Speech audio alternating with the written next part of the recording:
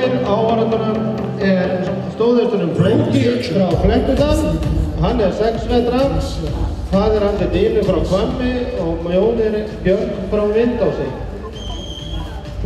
Og svo er það hann Þrýmur frá Ragnæðarstöðum. Hann er undan Hróð frá Refstöðum, þeim mikla heiðisveluna hesti og móður er Þruma frá Hóðshúsum.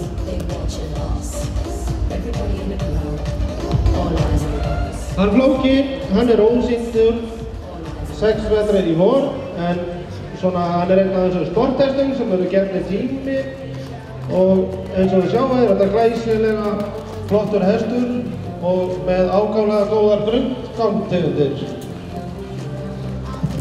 Þrymur hefur hlotið einhvernina 8,49 fyrir byggingu og stefnir að því að fara með hann í fullnaðadóm í sumar. Er hann Sigurður Vigni Mattiasson.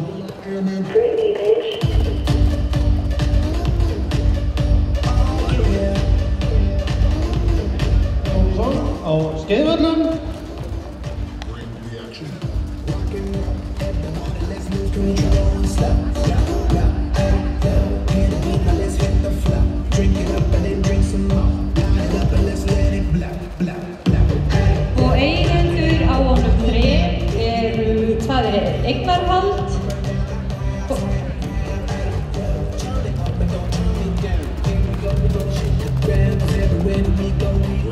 Jeg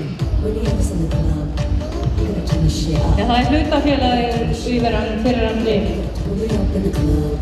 Og regnandi flóka er Jóhann Ólafur Sigursson og þjálfari Davíð Jónsson.